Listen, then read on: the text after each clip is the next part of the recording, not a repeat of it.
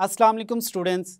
My name is Babar Gulab and I am your biology teacher of grade 9th. Today we will solve exercise of chapter number 1. To solve this exercise, let's move towards the whiteboard. सबसे पहले हमारे पास how would you define biology and relate it with its major divisions कि biology क्या है इसको define करें और इसकी जो मेजर डिविजन्स हैं, उनका एक्सप्लेन करें।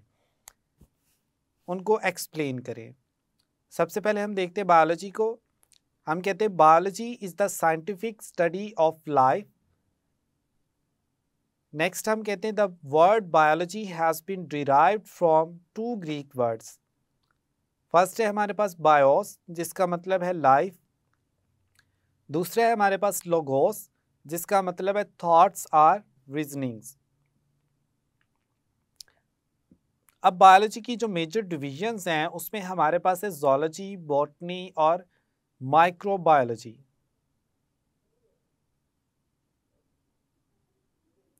नेक्स्ट हमारे पास है draw a table showing the branches of biology and studies these deal with अब हमारे पास टेबल है जिसमें डिफरेंट ब्रांचेज है बायोलॉजी की और इसमें किस चीज़ को स्टडी किया जाता है?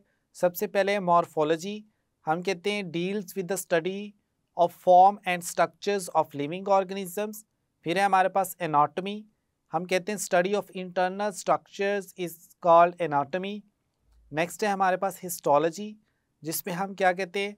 The microscopic study of tissues is called histology cell biology cell biology को हम कैसे डिफाइन करते हैं? हम कहते हैं study of structures and functions of cells and cell organelles जिसमें हम सेल और सेल की जो ऑर्गेनेलिस हैं, इनको स्टडी करते हैं। This branch also deals with the study of cell division कि सेल जो है वो डिवाइड करके न्यू सेल जो प्रोड्यूस करते हैं, इसको भी हम किस ब्रांच में स्टडी करते हैं? सेल बायोलॉजी में। इसी तरह हमारे पास है फिजियोलॉजी, जेनेटिक्स, एम्ब्रियोलॉजी, टेक्सोनमी, फिर हमारे पास है palaeontology environmental biology, social biology, parasitology, biotechnology, immunology, entomology, pharmacology. इन सभी डेफिनेशंस को आपने अच्छे से याद करना है, क्योंकि ये एग्जामिनेशन पॉइंट ऑफ़ व्यू से बहुत इंपॉर्टेंट है। नेक्स्ट है हमारे पास give points to educate that biology is linked with physics chemistry mathematics geography and economics सबसे पहले हम बात करते हैं बायोफिजिक्स की।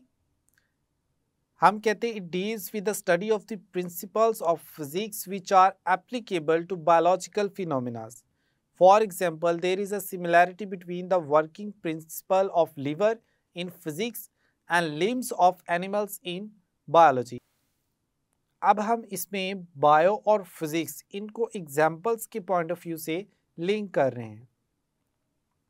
नेक्स्ट हम देखते हैं बायोकेमिस्ट्री इसमें हम कहते हैं it deals with the study of the chemistry of different compounds and processes occurring in living organisms.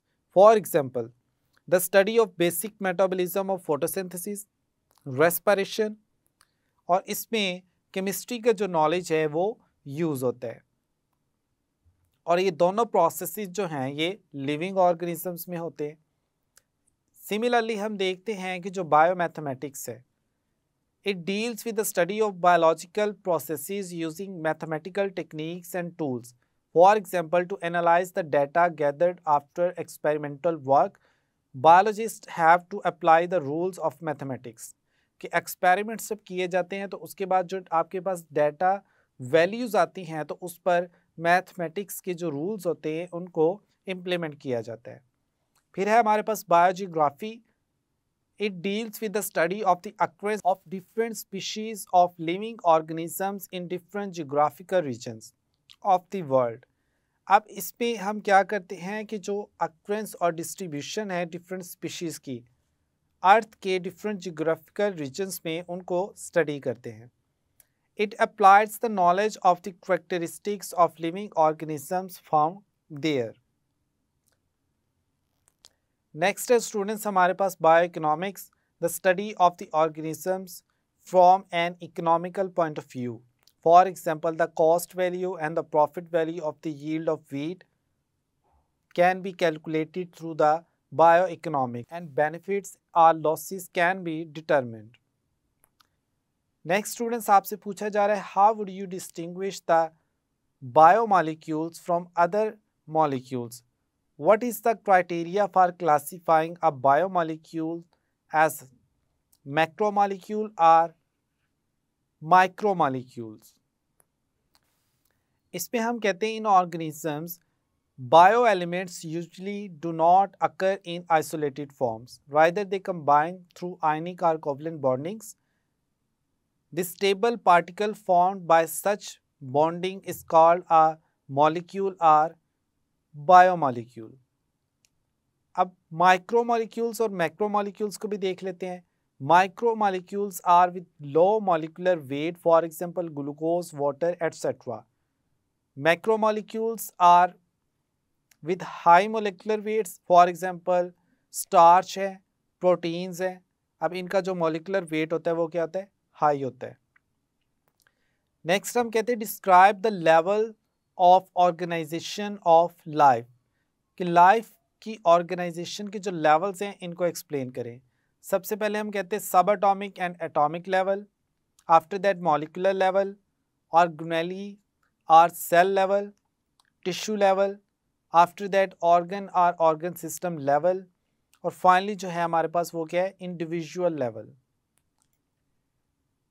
फिर इसके बाद फर्दर जो हाई लेवल्स हैं हमारे पास, उसमें हमारे पास है population level community level biosphere level next students आपसे पूछा जा रहा है is there any division of labour among the cells of a colony कि एक कॉलोनी है ऑर्गेनिजम्स की, क्या इनमें डिवीज़न ऑफ़ लेबर होगी? कि जो डिफरेंट सेल्स हैं, उनमें काम जो है वो डिवाइड किया गया है और हर एक को उसका टास्क जो है वो असाइन किया गया है। साथ ही साथ आपसे पूछा जा रहा है if you find the division of labour among the cells and tissues what level of cellular organisation is it वो कहते हैं, अगर आपको इन सेल्स में डिवीज़न ऑफ़ लेबर जो है वो अगर देखने को मिलती है तो ये किस लेवल पर सेलुलर ऑर्गेनाइजेशन है? अब इस पे हमारे पास हम देखते हैं आंसर क्या है। अब अगर आपको डिफरेंट जो सेल्स हैं टिश्यूज़ में जो प्रेजेंट हैं टिश्यूज़ जो हैं, उनमें डिवीज़न ऑफ़ लेबर देखने को मिलती है। तो ये सेलुलर ऑर्गेनाइजेशन का कौन सा लेवल होगा? ये आपने इसमें बताना है। तो आंसर को हम एक्सप्लेन करते हैं। हम कहते हैं no there is no division of labour among the cells of the colony कि जो कॉलोनी में सेल्स हैं, उनमें कोई भी डिवीज़न ऑफ़ लेबर नहीं होती। There is a multicellular organisation among the cells and tissues अब ऑर्गेनाइजेशन कौन सी होगी? Multicellular organisation next students हमारे पास है डिफाइन बायोटेक्नोलॉजी ये बहुत ही इंपॉर्टेंट शॉर्ट क्वेश्चन है। एग्ज़ाम में अक्सर आपसे पूछा जाता है। इसका आंसर क्या है? It deals with the practical applications of living organisms to make substances for the welfare of mankind यानी इसमें लिविंग ऑर्गेनिजम्स को यूज़ किया जाता है और उनसे डिफरेंट जो प्रोडक्ट्स हैं वो बनवाए जाते हैं। और ये प्रोडक्ट्स ह्यूमंस की वेलफेयर के लिए बहुत इम्पोर्टेंट है। फाइनली स्टूडेंट्स हमारे पास है what do you mean by horticulture and how it's related to agriculture कि हॉर्टिकल्चर क्या है और एग्रीकल्चर से इसका क्या लिंक है? हम कहते हैं horticulture deals with the art of gardening यानी आप इसको बागबानी भी कहते हैं उर्दू में। A horticulturist work for the betterment of existing varieties and for the production of new varieties of ornamental plants and fruit plants अब ये ऑर्नामेंटल प्लांट्स कौन से हैं? वो प्लांट्स जो कि डेकोरेशन पर्पज़ के लिए यूज़ किए जाते हैं और साथ ही साथ फ्रूट प्लांट्स के लिए। स्टूडेंट्स आज के लेक्चर में हमने एक्सरसाइज को सॉल्व किया। आपने एक्सरसाइज की अच्छे से प्रैक्टिस कर लेनी है और एक्सरसाइज के जो एम हैं शॉर्ट क्वेश्चंस हैं और अंडरस्टैंडिंग द कॉन्सेप्ट हैं। इनको अच्छे से रिवाइज करना है और याद भी करना है। मिलते हैं नेक्स्ट लेक्चर में। अल्लाह हाफिज़।